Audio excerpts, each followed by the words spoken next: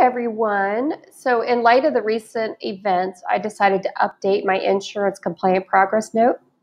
So, as you can see here, I'm sharing my screen with you guys. And normally in my note, I check whether a session is telehealth or face to face. And it's kind of a moot point for me because my practice is all online. But I do have an insurance billing course, and this is the note template that I share in there. So it's for a brick and mortar practice and an online practice. So aside from that, I recently updated this progress note in case any of the insurance companies want to question my use of telehealth modalities during this time. So recently, the Department of Health and Human Services released a statement waiving telehealth restrictions. So I feel it's important to document the reasons right now, just in case it's questioned later by the insurance companies. So as you can see, in addition to the telehealth and the face-to-face sessions, I added this extra box and if you can see right here, it says telehealth.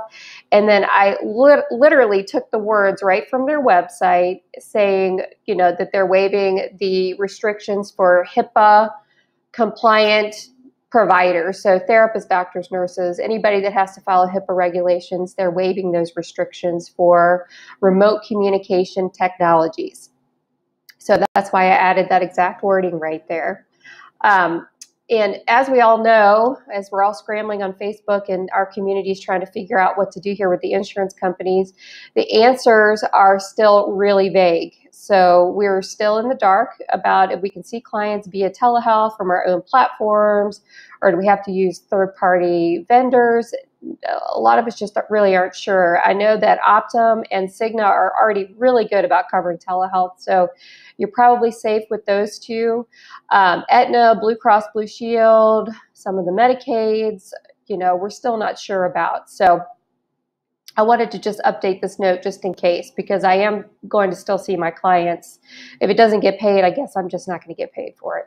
But anyway, um, so like I said, I created this note and I updated it and I wanted to share it with you so you guys could update your notes and just be, um, you know, covering your butts a little bit with this. And this is just my template, so feel free to adapt it any way you see fit for your practice. And I also wanted to note that recently there's a, um, a therapist named Kristen Schwem. Kristen Schwem. She uh, recently updated her medical necessity section in her progress notes and shared it on the Simple Practice community website or Facebook page. So I really thought it was fantastic. And I asked her if I could use it too. And she gave me permission to use it in my notes and in my insurance billing course. So I followed her guidelines. And let me scroll down here and added a whole medical necessity section to my progress note. There it is just so I can uh, make sure I'm more compliant with the insurance companies. But in this situation, I decided to adapt my note here too. So I followed her guidelines of the medical necessity stuff, but I also added this last little part about seeing clients via telehealth due to the coronavirus pandemic. And the modality required is due to social distancing re- recommendations by the CDC. So, for all my new clients that are trying to come on board right now, that Aetna or Blue Cross Blue Shield or just an insurance that I can't get a straight answer from. I am still going to see them.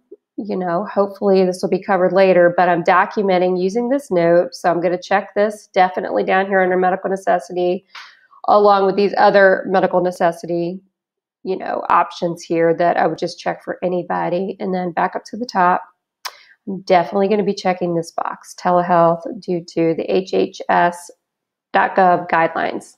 So I hope this helps. If you'd like a copy of this note, feel free to email me. My email is info at kymtolson.com and it's K-Y-M-T-O-L-S-O-N.com. Um, also, if you haven't already, join my free Facebook group. Uh, there's a ton of people in there right now. And we're just all trying to help each other and figure out the best way to still see our clients when we're quarantined essentially to our homes. So, like I said, if you have any questions, reach out to me and I hope this helps.